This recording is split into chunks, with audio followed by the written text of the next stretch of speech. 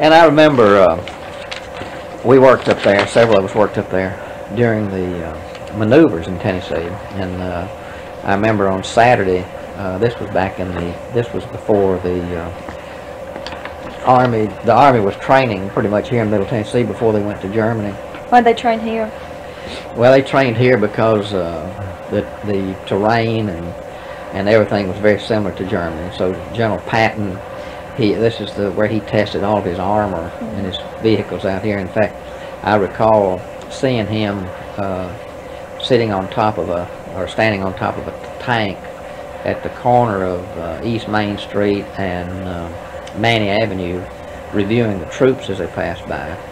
And he was just like uh, the picture showing. He had two pearl handle revolver pistols on either side, and uh, I believe he was a four-star general. Of course, it was that fascinated us because we'd never seen anybody like Did that. Did people know that he was going to be in town? I mean, was everybody out or did, did Uh, no, this was no, this no, they didn't know he was in town. This just happened to be, I guess. Uh, uh, he just happened to be coming through here Yeah. and with, with with that particular troops. But uh, the maneuvers in Tennessee, I think, were real, real interesting because there was like on Saturday night when the soldiers were turned loose, they would come into town and uh, and uh, they they of course they were wanting something to they would want to come to the drugstores and places like that where they could get uh, milkshakes and ice cream and all that sort of things. Yeah. And they'd come in so fast and furious that uh, we'd have to close the drugstore about every three or four hours to clean up all the mess and everything because they would uh, would they just stand? they mean, would were stand they were just six, eight, and ten deep, and uh, and then you'd finally have to close the door and let another group in. In fact, uh, after we closed the drugstore, which was usually around nine, nine and nine thirty, we'd go out on the street then and sell pints of ice cream. But the streets were just covered with soldiers because sometimes here in uh, Murfreesboro there'd be 40, 50,000 soldiers. It would be uh, in a town that was usually had about twelve thousand. yeah, town about 10, 12,000 and uh, and there were lots of plane crashes.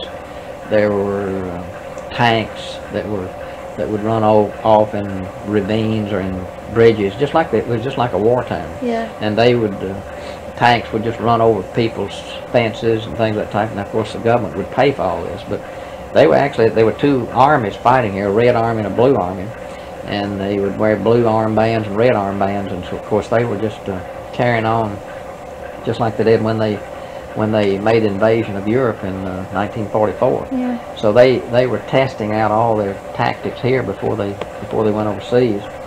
Didn't And uh, I remember a plane crashed about 12, 15, 20 miles from Murfreesboro. There was a crash truck from Smyrna Middle School, uh, Smyrna, not Smyrna Middle School, from Smyrna um, uh, Air Base, and they came by, and several of us were up on the square that night, and so two, another boy and I, they asked us if we if we would show them where Lascassas was, and so we got on the back of the crash wagon, and uh, and of course here again my mother and dad wouldn't, didn't know that either. But they they took us. Uh, we sh- we showed them how to get to Lascassas, and when we got out there, it was a P-38 that had crashed, but the pilot had bailed out, and so we we picked the pilot up and brought him back into town, and and the, and so there were a lot of accidents, you know, occurred during that time. yeah. So, Didn't um didn't the soldiers like just pass by like oh yeah.